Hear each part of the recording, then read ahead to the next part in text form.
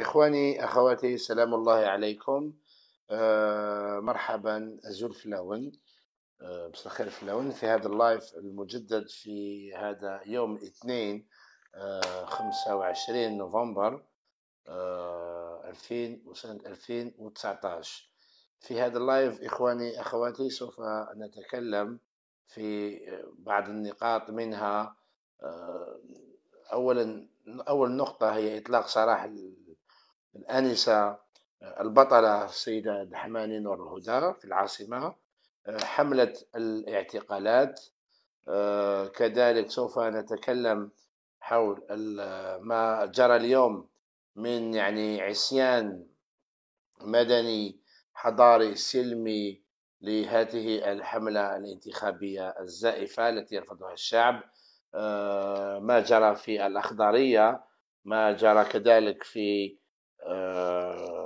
قسنطينة وودسوف آه، كل هذا سوف نتكلم عنه. إضراب 27 و 28 نوفمبر آه، والتصعيد السلمي. ثم النقطة الخامسة التنسيق الذي اقترح من بعض الإخوة المقيمين في الخارج خاصة في أوروبا وأمريكا الشمالية. كذلك النقطة الأخيرة سوف نتكلم عن موقف البرلمان الأوروبي والذي يعني برمج حوار أو يعني آه، أنه سوف يناقش الوضع في الجزائر. وهذا ما تستغله السلطة اليوم عبر ما يتكلمون عنه بالتدخل الأجنبي عبر بيان لوزارة الخارجية الجزائرية التي تندد بهذا آه، ما سوف يقوم به البرلمان الأوروبي. أولا إطلاق سراح الأخت آه، الآنسة آه، البطلة دحماني نور الهدى في العاصمة شيء إيجابي وإيجابي جدا. نبارك لها ونبارك لعائلتها وكل الطلبة والطالبات الجزائريين والجزائريات على هذا إطلاق سراح نتمنى أن يطلق سراح لجميع جميع المسجونين السياسيين. سواء كانوا طلبة أو غير طلبة وأن تكف السلطة الفعلية والبوليس السياسي عن آه، يعني هذه الاعتقالات التعسفية التي ليس لها أي أساس قانوني. ثانيا آه، الاعتقالات يعني لاحظنا يعني هذا التصعيد اليومي للشعب الجزائري آه، خاصة التصعيد في المسيرات الليلية. هناك حملة اعتقالات قوية وقوية جدا في كل مساء. آه، اليوم على ما أظن هناك 20 أو 30 أخ آه، معتقل. آه، في العاصمة اليوم محكمة باينام محكمة باب الواد. يعني حكمت على معتقلين في العاصمة خرجوا في مسيرات ليلية بسنة سجن نافذة. ويعني هي يعني أحكام قاسية وقاسية جدا.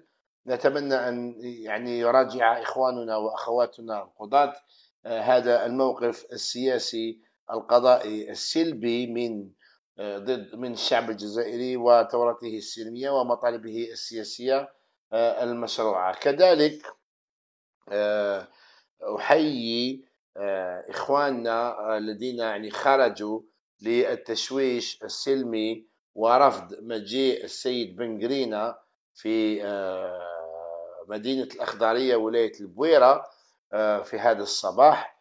آه، كانت بأعداد كثيفة وبشجاعة يعني آه، معهودة على ناس الأخضرية. وكذلك إخواننا في قسنطينة الذين دخلوا إلى قاعة المحاضرات التي كان يريد أن ينظم فيها تجمع انتخابي المدعو المترشح بالعبد العزيز بالعيد. نحيي كل الأحرار في كل ولاية في ودسوف من قسنطينة بجاية وهران آه، مستغانم تيارة معسكر بالعباس أدرار ورقلة تندوف تقورت تمن راست البوليدة التي خرجت هذا المساء في مسيرات كذلك آه، ليلية.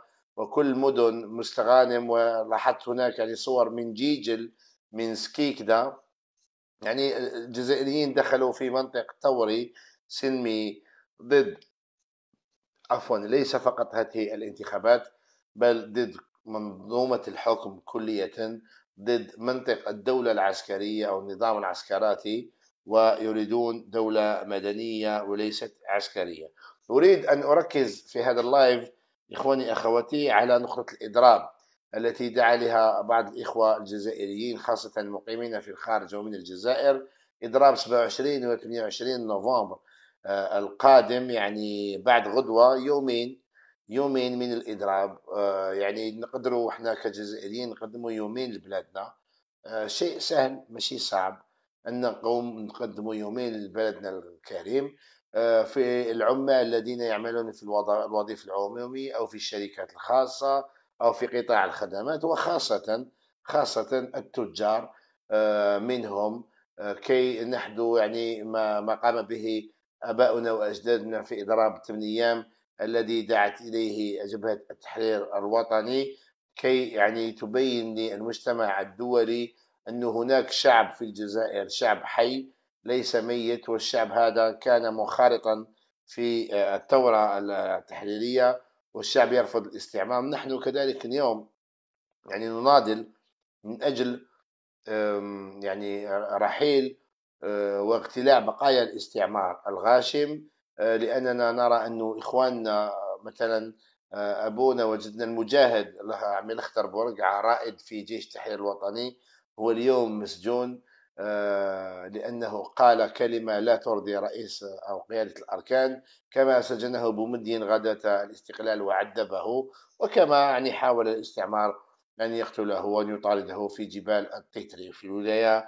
الرابعة التاريخية. إذا آه، التصعيد بالإضراب 27 و 28 نوفمبر لأنه مثلا عندما نلاحظ اليوم ماذا جرى مثلا في انتخابات هونغ كونغ هذه المقاطعة التي هي تحت السيادة الصينية والتي كانت يعني مقاطعة بريطانية يعني سلمت للصين في إطار اتفاق آه، بين المملكة البريطانية والصين. يعني الشعب الهونغ كونغ الشعب الهونغ كونغي في هونغ كونغ استطاع أن يصل إلى انتخابات حرة وأن تفوز فيها يفوز فيها أحزاب المعارضة أو من هم مع يعني آه، ما يظنه أغلبية الشباب آه، والشابات والشعب في هونغ كونغ. يعني وصلوا إلى هذه النتيجة واستطاعوا أن آه، يجعلوا من بكين من الحكومة الصينية التي تحكم في أكثر من مليار و100 أو 200 مليون شخص ثاني أكبر اقتصاد عالمي قوة عسكرية باهرة قوة مالية باهرة حزب واحد وهو حزب الشيوعي الصيني. يعني هذه القوة العسكرية والمالية والاقتصادية والإعلامية استطاعوا أن يعني آه، أن أن يجعلوها تتراجع إلى الوراء وأن يفرضوا انتخابات حرة هناك في هونغ كونغ. أنا لا أتدخل في الشأن الهونغ كونغي أو الشأن الصيني ولكن أقول لإخواني وأخواتي أن التصعيد السلمي هو الوسيلة الوحيدة والأنجع التي قد تسمح لنا إن شاء الله بالفوز في هذه المعركة أو هذه الثورة السلمية ضد النظام العسكري لإرساء وبناء قواعد دولة مدنية ديمقراطية تحترم فيها حقوق الإنسان تحترم فيها يعني الآراء السياسية وتحترم فيها كرامة الإنسان الجزائري مهما كان توجهه السياسي ومهما كان يعني تفكيره السياسي ويسمح آه، وتكون هناك دولة وقوانين تسمح وتحمي الجزائري والجزائرية إذا أراد النشاط في الميدان السياسي في الميدان الثقافي في الميدان الجماعي وكذلك حتى في المجال أو الميدان الاقتصادي. يعني كل القوانين ومجملها اليوم القوانين الاقتصادية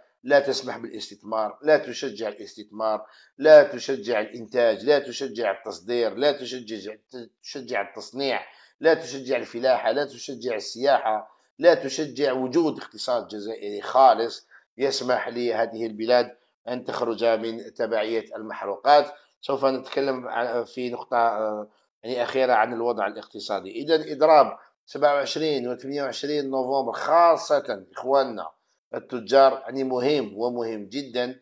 يعني كل من استطاع أن يغلق الحانوت تاعو ولا يغلق القهوة تاعو ولا المطعم تاعو إلا إلا الصيدليات. يعني لا نريد أن يكون هناك مشكلة في التداوي أو في الحصول على الدواء. آه، يغلق. واللي الذي يستطيع لا يذهب إلى العمل لا يذهب إلى العمل لأنها يومين من أجل الجزائر. آه، يومين في حياتك من أجل هذه البلاد. هناك ناس راهي في السجون كاين ناس هجرت. كاين ناس شهداء ماتوا على هذه البلاد أنت وانت أخي وأختي الجزائرية يعني تستطيع آه، ما نقولوش بسهولة ولكن تستطيع أن تقدم يومين من عملك إلى هذه البلاد كي نقول لا لهذه المنظومة العسكرية نقول نعم للدولة المدنية الديمقراطية نقول نعم لجيش وطني شعبي قوي يكون في إطار مهامه الدستورية يكون خاضع أقول خاضع وهذا ليس عيب وهذا حال كل الجيوش آه، المتقدمة جيوش الدول المتقدمة يكون خاضع للسلطة السياسية المنتخبة بطريقة حرة. أنا لا آه، لست هنا كي أدافع عن آه، ما يسمى بالديمقراطية الأمريكية لأنني أعلم أنها ديمقراطية المال والأعمال ولكن هناك دول أوروبي أوروبية خاصة دول أوروبا الشمالية استطاعت أن تكون أن تصنع نماذج آه، ديمقراطية سياسية فعالة مثل دول كالنرويج كالسويد كالدنمارك كايسلندا كفنلندا ولما لا نحن شعب آه، يعني له عقل له عقول آه، عندنا مهندسين عندنا أطباء عندنا أئمة عندنا عندنا كلش عندنا كلش عندنا العقل عندنا المقدرات الطبيعية لما لا نصنع من بلدنا يعني جنة فوق الأرض كما صنعها آه، أناس آخرين في دول لا تطل فيها الشمس إلا شهر أو شهرين في السنة. اذا التصعيد آه، السلمي في مسيرات ليلية كذلك. شفت صور في مسيرات ليلية في سكيكدا صور جميلة جدا في وادي سوف. آه، شفت مبادرة كذلك من الإخوة والأخوات آه، الأساتذة الجامعيين من جامعة عنابة أحييهم في هذا الفيديو أحييهم على هذه المبادرة. وهم يعلنون أنهم يقاطعون هذه الانتخابات ويرفضون هذه الانتخابات ويفسرون في فيديو رائع قد نشرته عبر الصفحة الشخصية أن هذه الانتخابات هي مهزلة سياسية ولن تسمح إلا بإعادة إنتاج النظام القديم الجديد وأنه المرحلة الانتقالية الديمقراطية هي السبيل الوحيد نحو الانتقال من نظام عسكراتي شمولي إلى نظام مدني ديمقراطي يسمح للكل آه، في المشاركة السياسية في هذه البلاد. أحيي هذه المبادرة وأطلب عفوا أطلب من الإخوة الأساتذة من كل الجامعات أن يحدوا حدوى يعني إخوانهم في من مدينة عنابة في مثل هذه المبادرات سواء في كتابات أو في فيديوهات قصيرة. تسمح للطلبة الجامعيين تسمح لكل الشباب آه، أن يصل إلى المعلومة بطريقة أكاديمية سهلة كي نفهم أن هذه القضية ليست قضية فلان أو ضد فلان أو قضية من هم في الخارج ضد من هم في الداخل أو قضية من هم في السجون ضد من هم في التكنات أو في قيادة الأركان بل قضية مستقبل هذا البلاد. وبطريقة علمية أن مستقبل هذا البلاد في خطر إن يعني آه، آه، لم تتغير الأمور آه، السياسية في بلادنا وبقت على حالها. بعض الإخوة منهم الأخ محمد العربي زيتون طرحوا فكرة التنسيق آه، من أجل أمور عملية للثورة السلمية وهذا التنسيق لا يعني التمثيل. وخاصة من إخوة يعني يقطنون بالخارج يعني في أوروبا أمريكا الشمالية أو حتى في المشرق العربي. أنا أنا شخصيا أتمن مثل هذا المقترح لأنه وصلنا إلى مرحلة آه، أولا الحرية السياسية آه، شيء يعني صعب المنال في الجزائر ولكن سوف سوف نناله وسوف ننتصر إن شاء الله. ولكن الإخوة المناضلين والأخوات المناضلات الذين هم موجودون وموجودات في الجزائر يعني تحت مطرقة البوليس السياسي وتحت مطرقة السجن ونحن لا نريد لهم ذلك. نريد أن يكونوا في يعني أحرار كي يؤدوا عملهم النضالي يعني بيتم معنى الكلمة ويعني نتاج عملهم هو إيجابي وهم آه، طلقاء وهم أحرار وليس داخل السجون.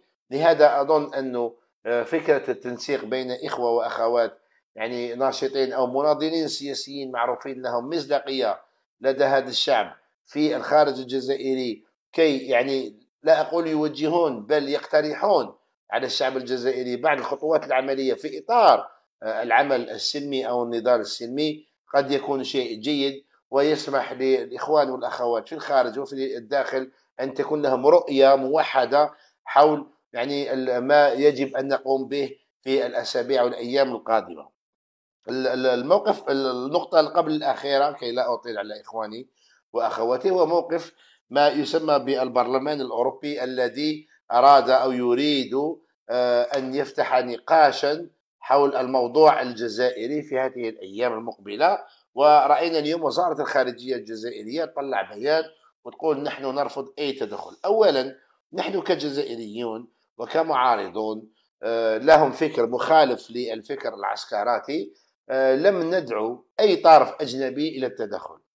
وقد يكون أقول قد يكون كما قال الأخ آه، إسلام بن عطية وأنا أرجح أنه يعني محق في هذا الأمر. قد يكون هذا الشيء مفتعل كي يجعل من النظام يجعله ضحية لتآمر دولي وكي يسوق للداخل الجزائري لبعض العقول التي لم تفهم بعد ما معنى النظام العسكري ومحاولة تجديد تجديد النظام آه، التي يسير فيها في هذه الانتخابات المقبلة. يعني آه، يحاول أن يدع نفسه في يعني آه، في دور الضحية وأن الجميع يتآمر ضده. أولا الجزائريين الأحرار والجزائريات الأحرائر لم لم يطلبون ولم يطلبن أي تدخل أجنبي. هذا أولا. ثانيا من ذهب للأجانب كي يشرح لهم ما يجري في الجزائر ويعطيهم يعني ضمانات ويطمئنهم حول الوضع في الجزائر هو النظام. اولا بالحملة أو الزيارة التي قام بها رمضان العمامرة إلى الصين إلى روسيا إلى بعض الدول الأوروبية عندما كان وزير وزير خارجية في حكومة بدوي الأولى. ثانيا رأينا أنه هذا ما يسمى بالرئيس بن صالح آه، يذهب إلى المحافل الدولية وخاصة ذلك الاجتماع الهزيل الذي جمعه بالرئيس بوتين ويشرح أن الجزائر بخير وأن بعض العناصر هي من تقوم بالتحركات وليس كل الشعب الجزائري وأن الجزائر والجزائريون يعني ماضون في انتخابات 12 ديسمبر وأنه يعني هذا المشروع الانتخابي سوف يرى النجاح. رأينا كذلك خبر هذا الأسبوع والصحافة الجزائرية آه، يعني حاشا بعض الصحفيين الأحرار من صحافة العار يعني لم تغطي كما هو الواجب يعني زيارة السيد صالح قوجيل نائب رئيس آه، أو رئيس مجلس الأمة عفوا président du Sénat الذي آه، هو كان مجاهدا يعني في الثورة التحريرية من من الأوراس. يعني زيارته إلى مجلس الشيوخ الفرنسي le Sénat français ويعني قام هناك بخطاب سياسي حيث أراد أن يطمئن أعضاء مجلس الشيوخ الفرنسي وطمأنهم بأن الوضع في الجزائر il est sous sous contrôle يعني تحت الرقابة وأن هناك انتخابات والشعب ماضي في هذه الانتخابات. يعني كيف لمجاهد الساعات الأولى النوفمبرية السيد صالح بوجيل أن يأتي إلى فرنسا ويسمح له لنفسه يعني يعطي ضمانات لمجلس أو أعضاء مجلس الشيوخ الفرنسيين كأننا تحت وصاية فرنسية أو وصاية دولية. يعني يجب علينا أن نعطي ضمانات كذلك يعني علنية المؤسسات الأوروبية والروسية كي يعني يرضون علينا. يعني من يطلب أو يستدعي التدخل الأجنبي أو الرضا الأجنبي هو النظام السياسي. إذا آه، يعني ما يريد القيام به البرلمان الأوروبي هو شأن البرلمان الأوروبي وكي يعلم الجزائريين أن قرارات البرلمان الأوروبي غير ملزمة للحكومات الأوروبية خاصة في موضوع السياسة الخارجية للاتحاد الأوروبي. يعني آه، قد يكون هناك نقاش قد يكون هناك قرار آه، ينتخب عليه يعني الأغلبية من النواب الأوروبيين ولكن هذا القرار لا لن يلزم أي حكومة أوروبية ولن يلزم اللجنة الأوروبية يعني والتي هي تمثل الهيئة التنفيذية لهذا الاتحاد والتي تمثل مصالح الحكومات التي تشكل هذا الاتحاد. علما أن اللجنة الأوروبية التي مقرها بروكسل والتي هي الهيئة التنفيذية لهذا الاتحاد يعني صدرت أو أصدرت بيانا منذ شهر ونصف أو شهرين تساند فيه الانتخابات علنا. وعليكم أن يعني تجدوا هذا البيان في جوجل. يعني Commission européenne à travers un communiqué a soutenu le processus électoral voulu par Ahmed Gaïd Salah pour le 12 décembre prochain. يعني الاتحاد الأوروبي الهيئة الرسمية فيه الهيئة التنفيذية فيه والتي تمثل مصالح الحكومات آه، على المستوى العلاقات الخارجية قالت أنها تتمن مسعى الانتخابات التي انخرطت فيه المؤسسة العسكرية وأنها تنتظر نتائج هذه الانتخابات. يعني آه، وأن تنتظرها يعني لكي تصل بسرعة لأنها تريد أن تتعامل مع بين قوسين كما قالوا سلطة آه، سياسية آه، ذات شرعية. يعني متى كانت هناك شرعية في الجزائر.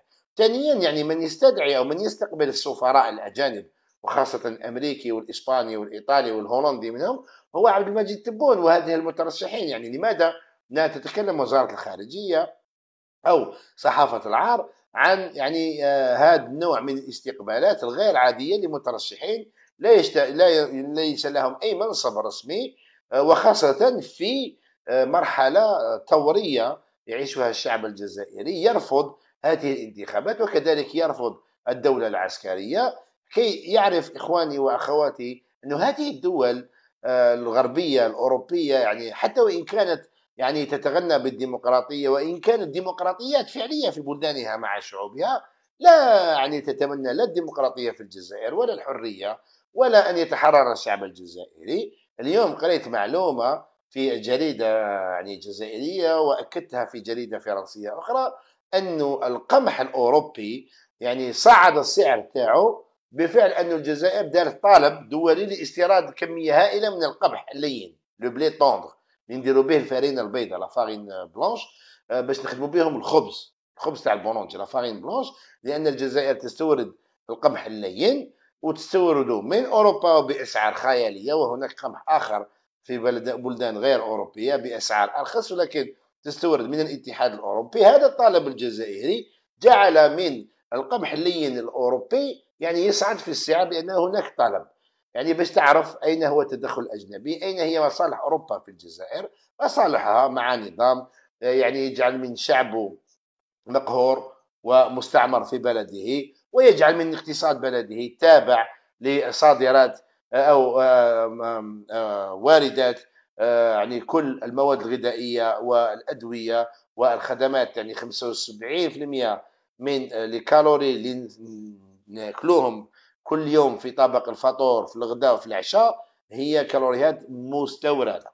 يعني لا ننتجها ناهيك عن الدواء ناهيك عن الخدمات وإلى آخره. اذا آه، البرلمان الأوروبي آه، لا يمثل شيء ولا يمثل خطر على النظام الجزائري بل بل يخدمه كي يضعه في يعني دور آه، الضحية ويقول هذا النظام لبعض يعني العقول التي لم تفهم المعادلة جيدا أنه ضحية تآمر أو مؤامرة دولية وأنه يرفض هذا التدخل وإذا لم يرد الجزائريين التدخل الأجنبي عليهم بالذهاب إلى انتخابات 12 ديسمبر هي مناورة جديدة يعني بائسة آه، معلومة يعني الأهداف والسيناريو لكن نحن لسنا سذج كي يعني ننزلق أو ننزلق في مثل هذه آه، أفخاخ سياسية. إذا لا للتدخل الأجنبي سواء كان من البرلمان الأوروبي أو الاتحاد الأوروبي أو حكومة أوروبية أو أي حكومة كانت.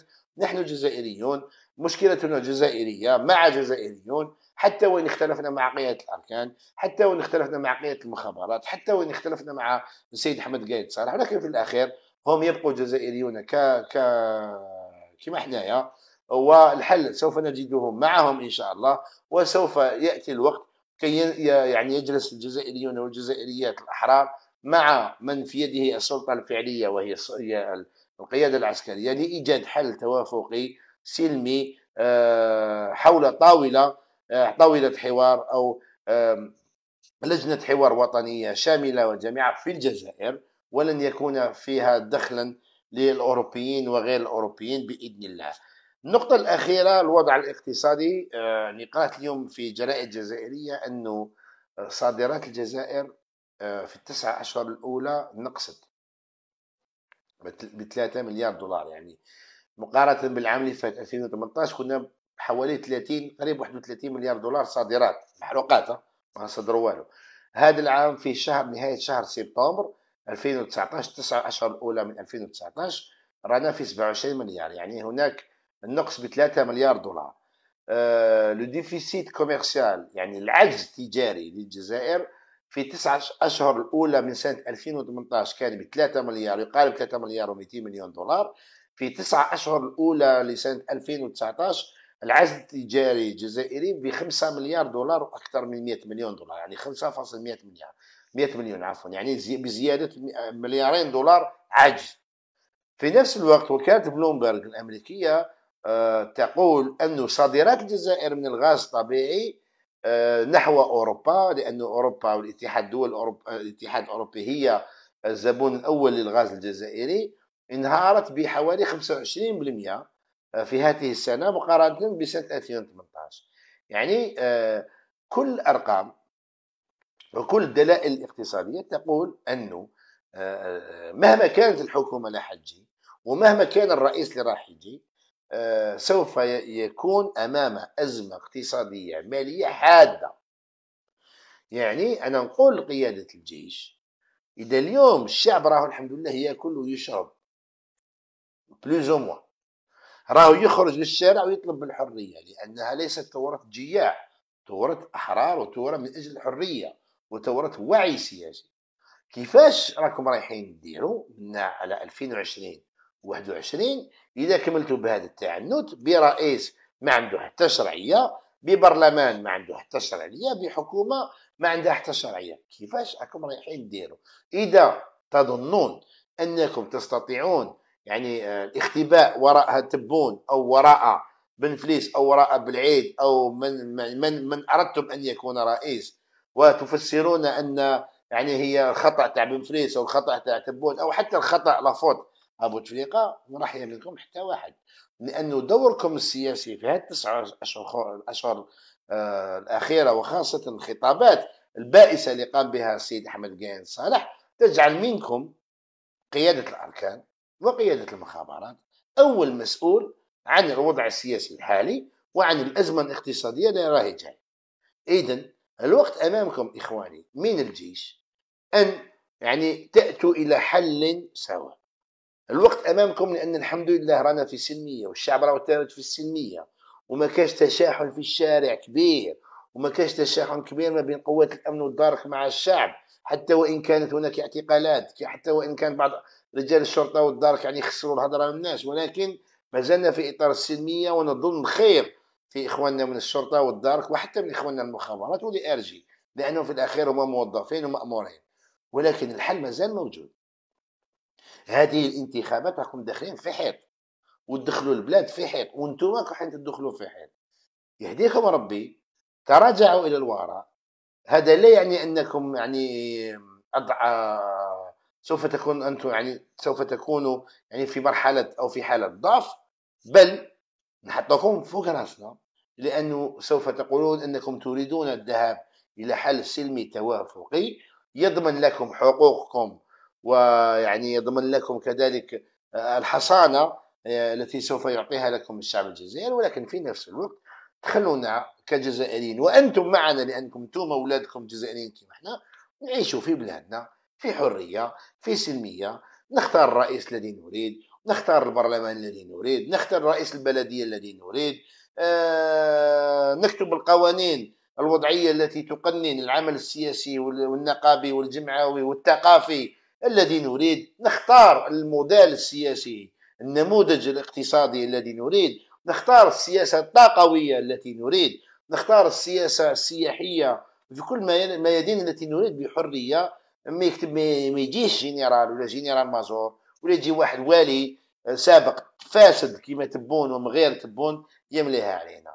آه يعني يهديكم ربي الحل مازال موجود الحل مازال موجود وراه في يديكم. الحل ماهوش في يد المعارضة لأن المعارضة الشريفة طرحت عليكم أكثر من 72 مبادرة سياسية مكتوبة ومعلومة. الإخوان من منهم الإخوان راهم في السجن منهم الإخوان راهم في الخارج منهم الإخوان راهم في بيوتهم في الجزائر ما يقدروش يهربوا يخافوا يروحوا للحبس. إذا الحل راه في يديكم. تلك الخطابات الشعبوية والجزائر وسوف نقضي وند ما كاش منها. وتوريو المدافع في التلفزيون ومناورة. راكم ديروا؟ وليتو ضحوكه ما بين الاجناس الناس les gens sérieux quand ils vous regardent يضحكوا عليكم. ويضحكوا علينا en même temps parce que حنا محسوبين عليكم. donc تعالوا إلى حل سواء تعالوا إلى تعالوا إلى حل حل توافقي. هذا الشعب شعب كريم راهو في سلميه ماهوش حاب يخرب بلاده ماهوش حاب يدخل بلاده في دوامة عنف ونحن نرفض العنف.